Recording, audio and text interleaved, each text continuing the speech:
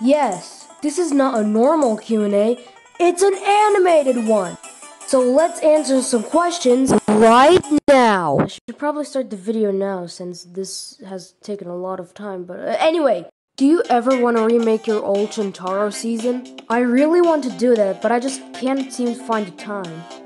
What's your favorite Ninjago season? To be honest, I don't really know. I mean, on one hand, you got good Ninjago seasons, and on the other hand, you have bad seasons. So, I like the good ones.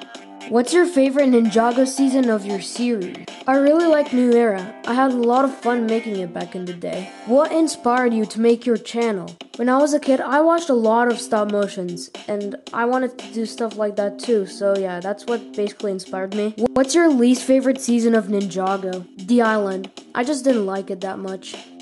What's your least favorite season of your series? None. I like all of them. What is your favorite Ninjago suit? I really like the casual crystallized suits, especially the OG Ninja. They're just cool. Have you seen Ninjago Dragons Rising? Of course I have. I literally had to connect to another VPN to watch the entire part 1. Arin or Sora? Sora, she's the GOAT. Cloak Zane or Titanium Zane? Both. Next Rise of Movie Zane episode coming? I have no idea. Spinjitzu or Airjitzu? Spinjitzu. Also, is water wet? I don't know. I don't usually touch water. I drink it. Who inspired you the most?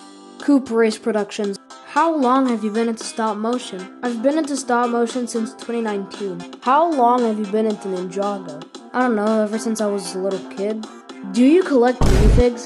Maybe. Which is the rarest minifigure you own? The Time Twins. What are your favorite shows or media outside of Ninjago? I really like Bionicle a lot. It's one of those things that made my childhood and changed me as a person hugely.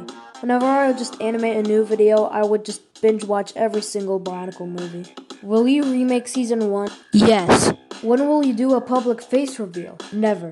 How is Jay SpongeBob in your series? I ran out of ideas. Your favorite Lego theme? Ninjago. If you had the chance to, would you drop a stud from the Empire State Building?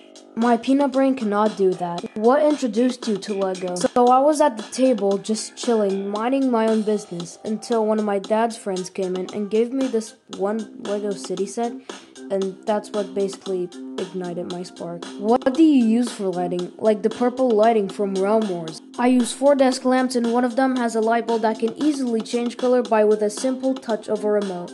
Do you have any tips on designing sets? Try to make them as realistic as possible. What's your favorite food? Nachos. I seriously want to do another one of these again because it's so fun. So, guys, I have a deal. If we get to 888 by the end of next week, I promise you I will make a part two answering every question that you leave me. So, leave me questions down below, and um, yeah, that's the video. Um, um, like, like, comment, and subscribe, and all that. Alright, just, uh, yeah, uh, bye.